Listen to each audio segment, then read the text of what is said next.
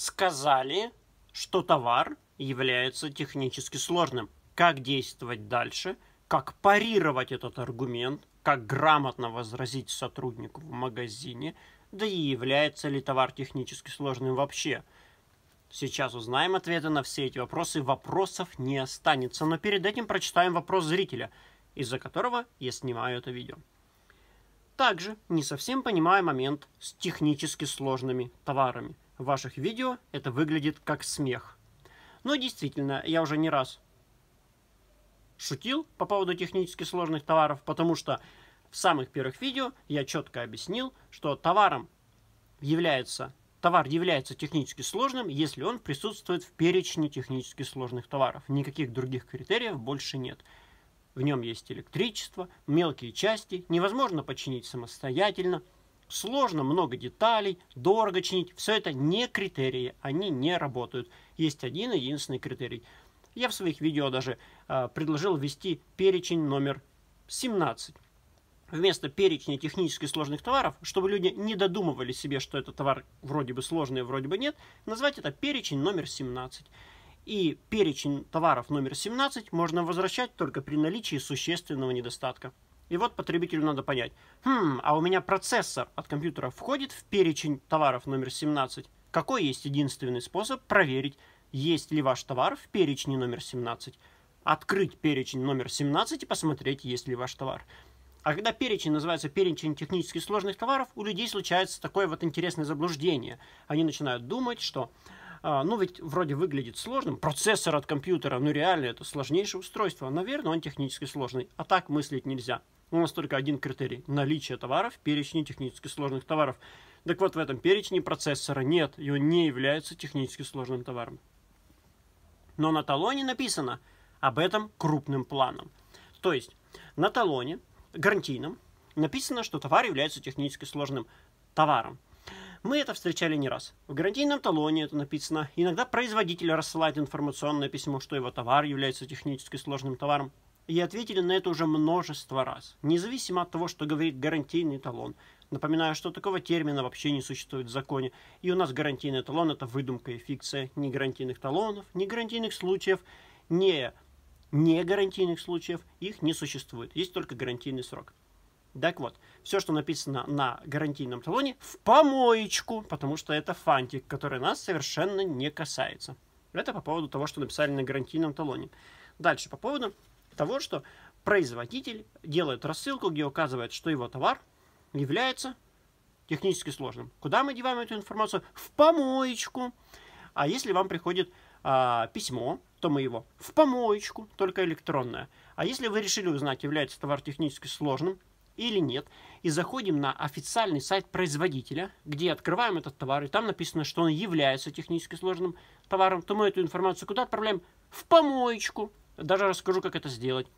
Открываете файл в Word, жмете файл, создать, создаете файл Word. Информацию с сайта, с сайта, где написано, что этот товар является технически сложным товаром, копируем в Word, нажимаем файл, сохранить как. Сохраняем документ под названием технически сложный товар. Дальше выбираем этот файлик у себя в проводнике, тыкаем на него, нажимаем «Удалить в помоечку». Правая клавиша на помоечке «Очистить мусорное ведро». Вот как нужно поступать с такой информацией. Потому что наличие товаров технически, наличие товаров в перечне технически сложных товаров делает его технически сложным товаром. Больше ничего. Все остальное уловки. И вот пишет. В перечне закона, однако, пишет потребитель, компьютеры, ноутбуки, нет видеокарты. Так совершенно верно. Наш потребитель-то грамотным стал. Если ответ придет мне, что это все-таки технически сложный товар, можно ли ссылаться, что видеокарты нет в законе? Но это не закон, это постановление правительства об утверждении перечня технически сложных товаров, но юридическая сила у него тоже высокая. И на ваш вопрос, можно ли ссылаться, ответ «Да, конечно, да!» Запомните, вот есть а, в мире людских и человеческих бесед, беседы, диалоги, споры, в них вы говорите одно, вам возражают, вы второе, вам третье, вы четвертое, вам пятое. Это в мире людских разговоров, в мире бесед. А в мире юридическом не так. У вас есть аргумент. Товара нет в перечне технически сложных товаров. Вы его даете магазину. Он вам выдает какой-то контраргумент. Но ведь видеокарта является электрическим прибором, в котором происходят вычислительные... А вы такие повторяете то же самое, как будто вы человек не сильно грамотный. Но видеокарты нет технически сложных, в перечне технически сложных товаров. Магазин говорит, но сейчас есть коды ОКВЭД, в которых она является, а вы говорите, но видеокарты нет в перечне технически сложных товаров. Максим говорит, слушайте, у нас есть официальное письмо от компании Palit. Там написано, что видеокарта является технически сложным товаром. Но в перечне технически сложных товаров отсутствует видеокарта. Забирайте ваши деньги. Вот обычно так это и работает. Это похоже на беседу не совсем здоровых людей. Вы продолжаете повторять одну и ту же фразу, вам накидывают разное, и э, вы просто плупо повторяете, повторяете, и вдруг вы вернули деньги. А как бы вы могли? На каждый аргумент магазина контраргумент. А, видеокарта Э, обладает такими критериями, как сложные расчеты плюс электричество. Но данные критерии не определяют технически сложным. Есть письмо компании Palit, что видеокарта является технически сложным, но письмо не имеет юридической силы. А, есть код АКВЭД, но они имеют... И вот, вот если вступите в это болото, начнете со всеми уловками магазина возражать, бороться, работать, вы в этом болоте и завязнете. Вместо этого вы просто берете один аргумент, что товар отсутствует в перечне технически сложных товаров. И как странный человек, назовем это человек дерева, повторяете одно и то же, одно и то же, одно и то же. Прикол в том, идея в том, суть в том, цимус в том, что именно так лучше действовать в юридическом мире. Лучше не беседовать в форме «вы что-то новое», «вам что-то новое», «вы что-то новое», «вы вам ответ что-то новое», а занять свою позицию, взять один реальный аргумент, который имеет юридическую силу, и тупо повторять его. Повторять, повторять, повторять. И когда у магазина кончится контраргумент, он просто вернет нам деньги. Странно, смешно, нелепо, но обычно так это и работает. Дальше. А, можно ли ссылаться на то, что видеокарты нет в перечне? Нужно. Это единственный аргумент, который нужно говорить.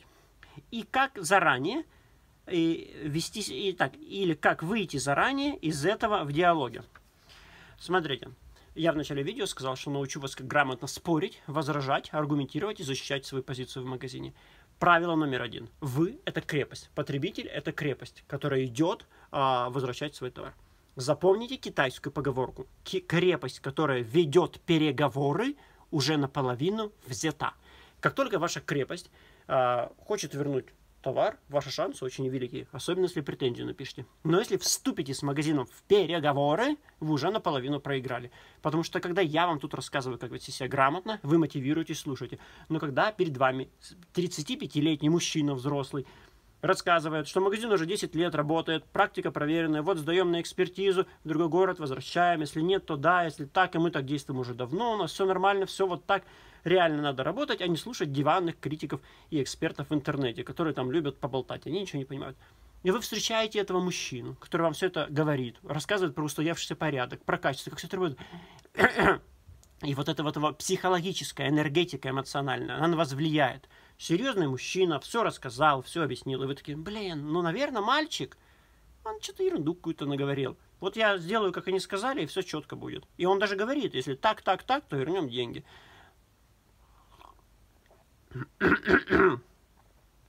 Вот так делать нельзя. Я, может быть, и мальчик в интернете, но я вам ссылаюсь на законы рассказываю про них, рассказываю про ваши права. А там заинтересованная сторона, которая заинтересована в том, чтобы вас склонить к не очень эффективным действиям. Врать там вам никто не будет. Вам скажут, что товар возьмут на экспертизу, на ремонт, и магазин имеет право. Но в статья 18 пункт 1, что указывает, что потребитель в случае обнаружения недостатка, недостатков в товаре вправе по своему выбору требовать ремонта или возврата денег – потребитель по своему выбору. А когда придете в магазин, вам, конечно, склонят к неэффективному варианту ремонта. Неэффективному для вас, очень выгодному для магазина. Поэтому не нужно вести диалоги. То есть, в начале видео я сказал, что научу вас, как вести диалог с магазином, как парировать аргумент, как возражать. И а, получается, что мой ответ таков. Надо уйти из этого диалога. Прямо как известная цитата. Единственный способ победить в споре – это избежать его ваш способ грамотного взаимодействия с магазином – это уход от любых бесед с магазином. Написание претензий, предъявление ее в одностороннем порядке в форме электронной претензии через сайт Почты России, 10 минут 70 рублей и готово. И все. И все. Дальше вы игнорируете всех. Знаете, как в магазинах устроена система? Если вы будете таким потребителем, который будет всех игнорировать и просто напишите претензию, в конце концов, крупная сеть передаст вас в специальный отдел, где будут сидеть специалисты типа меня, которые умеют болтать, умеют аргументировать, умеют говорить, умеют говорить вдохновенно и проникновенно. И вот вам позвонит этот специалист из Москвы, и он вам так все разложит и аргументирует, что вы согласитесь на ремонт. Потому что там сидят очень грамотные люди. Но крепость, которая не ведет переговоры, она не взята наполовину. Поэтому и вы можете просто тупо повторять одно и то же. И, а, конечно, было бы интересно мне устроить диалог с такими специалистами с удовольствием. Но мне они не звонят. По понятным причинам. А, потому что я пишу претензию, когда нужно вернуть. А потом просто с магазином не общаюсь, а лишь напоминаю о неустойке. Не веду с ним беседы о том, что этично, неэтично, правильно, неправильно, экспертиза, не экспертиза. И вам советую. Итак, что делать, если вам сказали, что товар технически сложный? Открываем мое видео «Возврат товара по гарантии полный порядок действий». Смотрим его и действуем ровно потому, как нам написано. Сначала просим вернуть, если нет, то сразу отдаем претензию. Если магазин начинает действовать и активировать любой сценарий, кроме возврата денег, в том числе, например, одним из таких примеров уловок является аргументация, что товар является технически сложным, вы просто напоминаете магазину про неустойку. Потому что она начинает идти.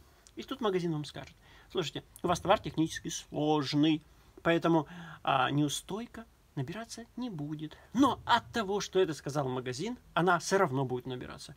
Магазин скажет, мы на вашу претензию ответили, неустойка не набирается. Но от того, что вам отказали по претензии, она не теряет силу и неустойка набирается.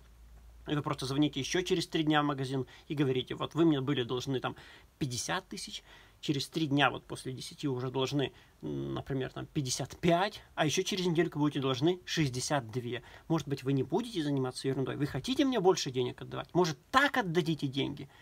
И, пожалуйста, передайте это директору, что вот через неделю 62, а через месяц 80 тысяч рублей вы мне будете должны. То есть 50 за товар, там плюс абстрактно 30 за а, неустойка.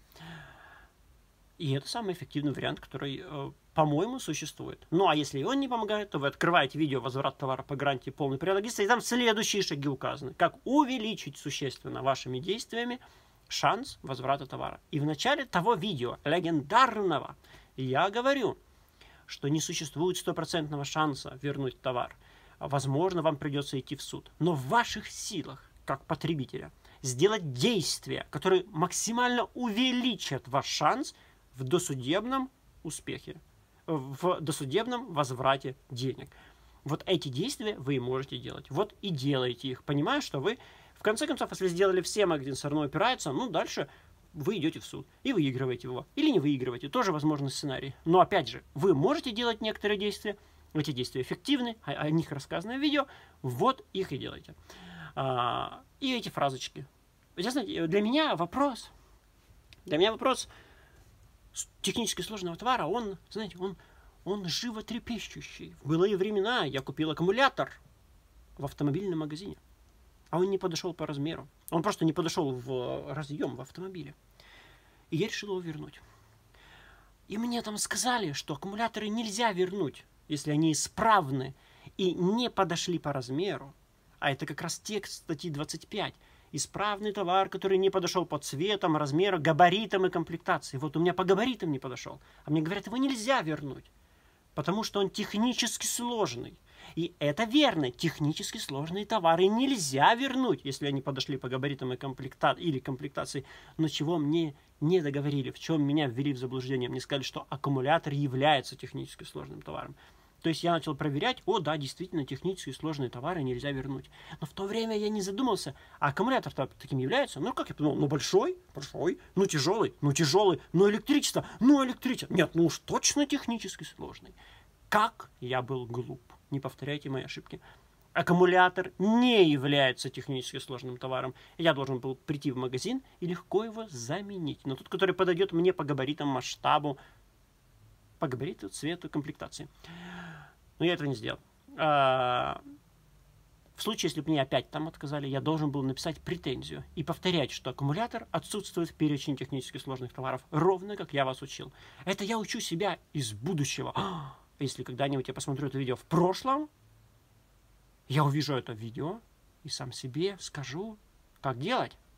А нет, в этом случае мне тогда вернут, заменят аккумулятор, и я не буду активно бороться за защиту прав потребителей, и не буду снимать эти видео.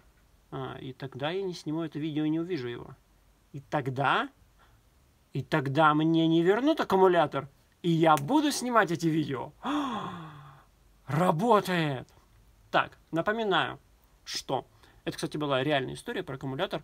А, вот я живу в Екатеринбурге. Самая крупная сеть аккумуляторных магазинов всем подряд. И даже на своем официальном сайте продолжают писать, что аккумулятор является технически сложным товаром. То есть в лобовую вводят заблуждение потребителей напрямую. Просто вот прямым текстом. Я с тех пор, вы, наверное, заметили, что аккумулятор в контексте технически сложного товара это, так сказать, шутка, которая уже два года во всех видео проявляется с тех пор в наших, и мы всегда его приводим. Я всегда его привожу в пример. Окей, все, меня можно поддержать. Меня лично по номеру карты в описании. Смотрите, вот он номер карты в описании. Там написан номер карты и слово Екатеринбург. Это где я нахожусь, чтобы вы понимали, где я нахожусь. Это важно. И вот вы, соответственно, меня можете поддержать небольшой суммой, которая будет очень полезна для меня, но несущественно для вас. То есть 30, 50, 70, 100 и может быть даже 200 рублей. За что я вам буду очень благодарен, потому что это будет не так сильно напрягать ваш бюджет. Но мы знаем, что если ваши знания вы хотите, чтобы они были ценны, то им нужно дать ценность. А как им дать ценность? Поблагодарив меня. А вот насколько наговорил, так и оцените.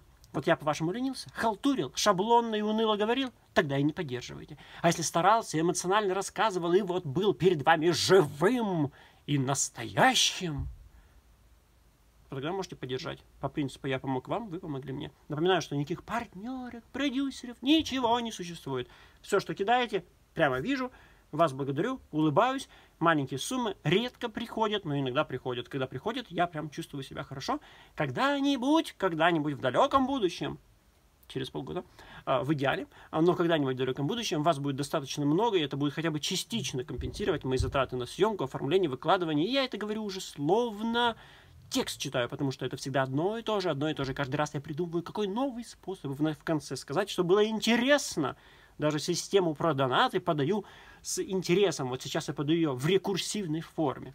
То есть рассказываю про донаты, рассказывая вам про то, как я рассказываю про донаты. Ну кто еще будет так делать? Я. Только. И за это можно меня отблагодарить, поддержать. Ну и видео у нас пошли. Фу. Но по теме технически сложных товаров, надеюсь, все все поняли. Это типичнейшая, типичнейшая уловка магазинов. Не ведемся на нее. Это банально. Это как а, азбука уловок у магазина, если есть, это, наверное, будет буква Б или В. А, а буква А это сдавайте в ремонт, а буква Б не пишите претензию, все равно не отдадим.